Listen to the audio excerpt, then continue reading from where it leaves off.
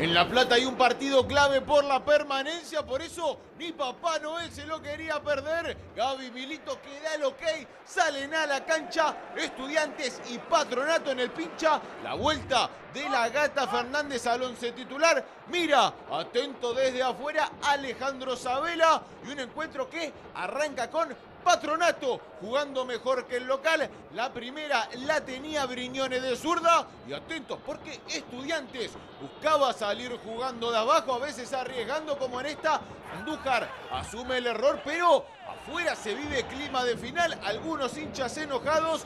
Milito que no estaba para nada conforme con su equipo. Patronato que seguía buscando. En esta no llegaba a empujar la Tarragona. Comas que prueba de derecha lamentaba, agua desperdiciaba chances Patronato y Estudiantes a los 27. Primera jugada clara de gol. Fede González que la abre a la derecha para el uruguayo Castro. La meta al medio, no puede Fede González, tampoco Mura. Y termina siendo gol de Iván Gómez que pone el 1 a 0, pero atentos porque algunos de Patronato se van a quejar de un posible offside de Mura, aunque no se llega a ver si fue de González Rosa o no la pelota.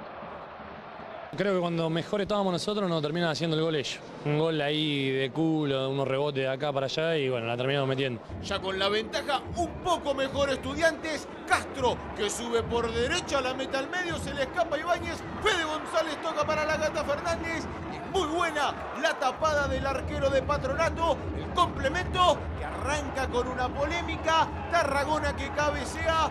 Todo Patronato reclama penal de Junque que hace la seña del pecho, pero la pelota le da en una de sus manos. Estudiantes que sigue atacando, busca el segundo. García que quiere rematar, le bloquean el tiro.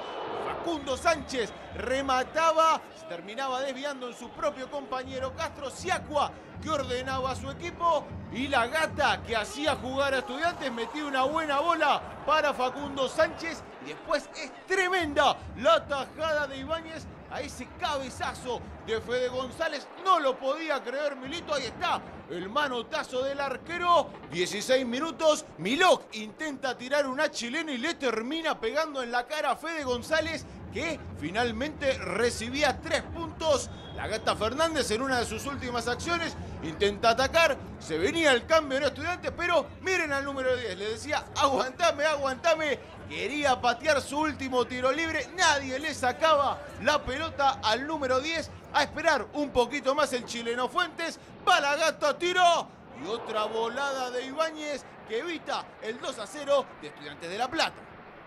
Me agarró la desesperación porque no había tenido ninguna chance en el segundo tiempo y dije, bueno, a ver si puedo aprovechar el tiro libre antes que me saquen. Ahora sí, tras su último intento, sale reemplazado la gata Fernández que se toca el corazón y recibe estos aplausos. Una bomba al alma, un mal corazón cada vez que, bueno, que tengo el reconocimiento de, la gente, que, que para mí es importantísimo. Sabela desde afuera que daba alguna orden táctica estaba metido el ex técnico de estudiantes. Y a los 36 Chimino le va con todo a Retegui. Mura, que se pone como loco y Delfino, le termina sacando la tarjeta roja. Mi pierna estaba en el piso y yo quedo regalado porque estoy trabando y viene Retegui con toda su fuerza y me pega él a mí, pero yo no voy a pegarle a la pierna. Y quedo regalado delante del árbitro. Estoy, estoy bien expulsado, pero yo no tengo la intención de pegar. Él me pega a mí. Y, entonces con toda la gente y todo, ¿sabes cómo fui para afuera? Sobre el final el pincha tuvo una más en los pies de Retegui, pero el ex Boca se encontró con Ibáñez que una vez más salvó a Patronato. La gata que lo sufría desde afuera, faltan tres y termina, decía el brujo Manuel que también hacía el aguante desde su lado. Y ahora sí, prepárense para la acción, 47 minutos. Tarragona recibe una dura entrada de Fuente desde atrás. Y sí, empieza el tole tole en La Plata. Chicoque se agarra con Mura.